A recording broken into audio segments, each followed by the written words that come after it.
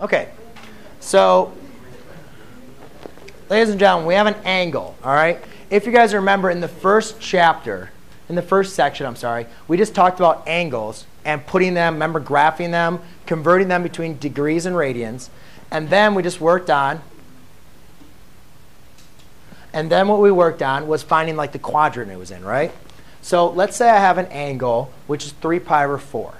So I need to graph that. But now what we included were point, we just talked about points on the unit circle. So what I'm going to do is I need to graph 3 pi over 4. So the first thing I'm going to do is I'm going to create my x and y axes. All right, and remember, we always start right here, right? That's our initial side, always. Now, we can take a look at, now what is it we remember about angles? We know that if I was to rotate my rays all the way halfway around, right, would be pi, right? And then all the way around would be 2 pi. However, we're looking at 3 fourths of pi, right? Or 3 pi over 4. So is that going to be less than a half rotation or greater than a half rotation? It's going to be less than, right? So what I like to do is I like to break it up into your denominator. Since your denominator says force, then I could say I could say this distance from here to here is pi over 4. 2 pi over 4, 3 pi over 4, and 4 pi over 4. Does everybody got me? Okay. So what we look at, if this is 1 pi, 2 pi, 3 pi over 4. So the angle, 3 pi over 4, which we're calling t, is right there. Right? So that's your angle right there. Right. What it looks like what? Oh, okay. So everybody understands how I got to the angle. Angle is the rotation right there. But ladies and gentlemen, what, are, what we're going to do now is we want to determine what our coordinate points are, or for our, use our, um, we want to evaluate our trigonometric functions at this point. So the next thing I want to do is I want to incorporate, well, what is, what is the point at, for this angle, what is the point on the unit circle? So if I was to create a unit circle, right? And we'll just pretend that the radius is 1, because it doesn't really matter. This angle extends infinitely, right? So it really, the radius could be anything. But if our radius is 1, we already know these points. These are easy. All right, but what we need to do is we, I want to figure out what this point is. Right? I need to figure out what that point is. Now, we worked on practicing the unit circle. We worked on how to find those points and where to come up with them. And one thing I noticed is that this is to the fourth. The fourth, it's um, your denominator is 4, which is going to tell me it's going to be a certain type of angle um, or a certain type of coordinates. Now, the other thing I noticed is it's directly reflected across the y-axis of this coordinate point. And this coordinate point was how many fourths? No, from here to here. One fourth, right? Or what we call pi over 4. Does anybody remember on our unit circle what that pi over 4 was? Right, it's 45 degrees. So the coordinate point right here is what?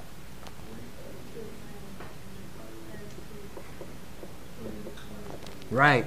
The coordinate point at pi over 4 is square root of 2 over 2, comma, square root of 2 over 2.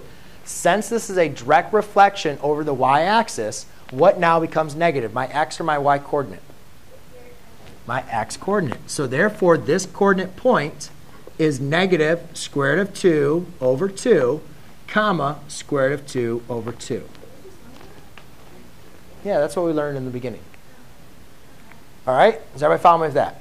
So we're not done, though. So that's just, we first, finding the angle was 4.1. Finding the, finding the point on the unit circle is what we first learned today. But now the next thing I'm asking you guys to do is find sine, cosine, and tangent. So how are we going to do that? Well, let's make this triangle here. So if I write out this triangle, right, we know that the hypotenuse is 1. We said that the distance, xy, right? That means this distance is how far? Negative square root of 2 over 2. And this distance is square root of 2 over 2.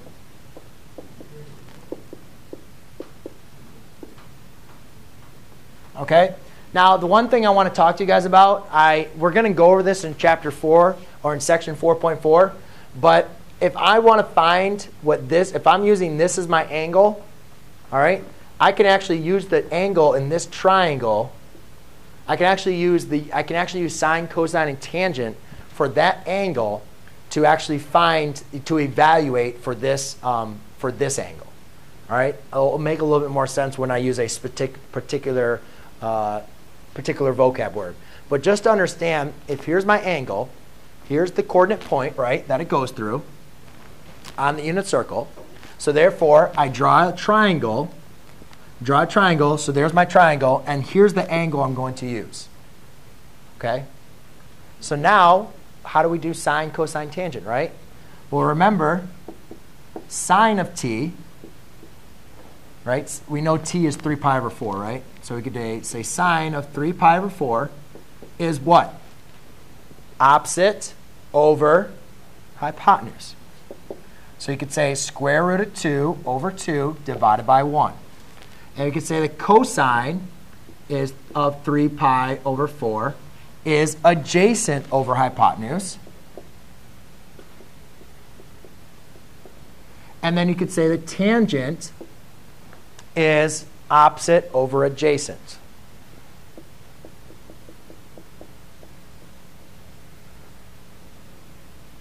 And I know I'm kind of getting a little chicken scratch as I go right down there. Um, now, hopefully you guys can see something, though. What is anything divided by 1? Itself, right? Square root of 2 divided by 2. So then here, I have the same thing. Now this one's going to be negative square root of 2 divided by 2. Here, I have the same number. That's neg um, ops, opposite over adjacent. That's negative. Here, I have the same number. Square root of 2 divided by 2 divided by negative square root of 2 over 2, which is going to equal negative 1, because one of those was negative. The denominator is negative. All right? Now, here's what I want you guys to know. Does everybody follow me on that? Here's my x and y coordinate. All I did was I drew a triangle. Opposite over hypotenuse, adjacent over hypotenuse. Tangent was opposite over adjacent. Right? Okay. Now, for ladies and gentlemen, though, what is one thing that you notice here?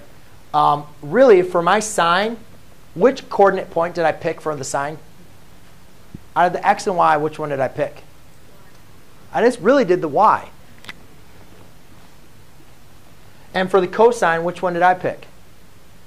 It really ended up being, or I didn't really pick, it ended up being the x coordinate point.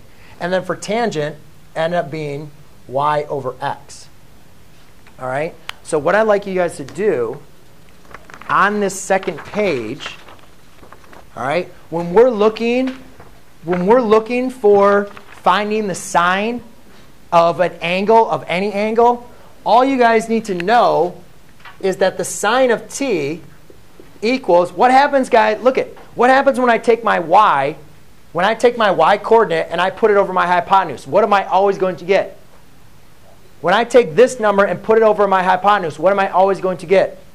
That number, right? So it doesn't matter what y is. y over 1 always equals y. So sine of t, no matter what the angle is, is always just y. So you could have looked at this and said, oh, what's the sine of this angle? Look at the y coordinate of the coordinate point.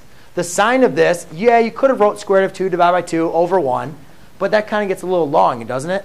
Just write, oh, what's the sine of 3 fourths? Where's the coordinate point? Right there. Sine is equal to y, square root of 2 over 2.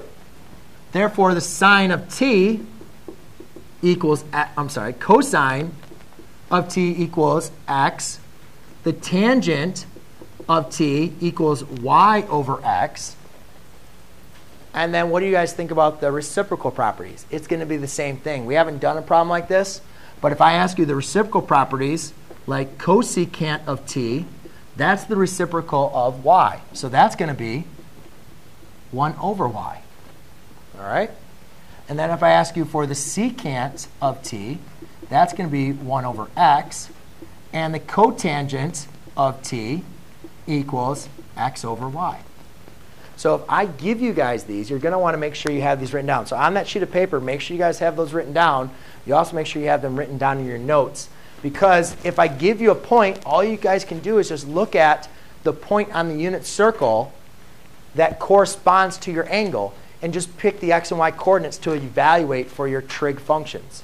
Because you can draw the triangle if you want to, and then do the trig functions like this. That's fine. But I think it's a lot easier if you can simplify it to this and then just pick the, the coordinates on there.